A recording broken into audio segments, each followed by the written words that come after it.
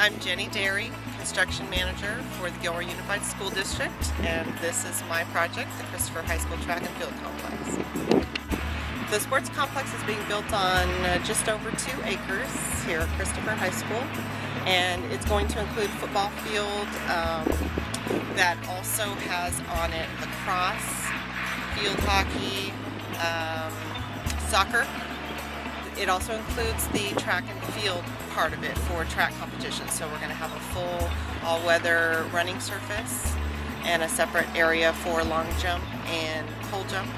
And then the high jump will be on the field. We also have the most recent um, design for the shot put and the discus.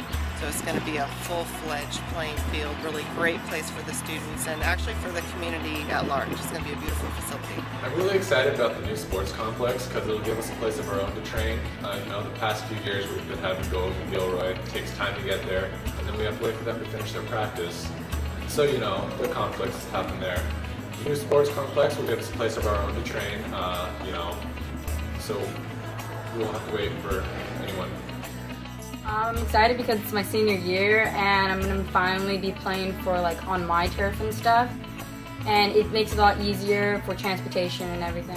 You can point to a place and say, this is where we're going to have our events. This is where we're going to have our homecoming parade.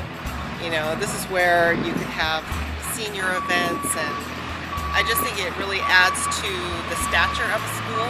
This is already a really uh, well-built institution and beautiful but it is lacking by not having its own field. And so this is going to add a lot for the students.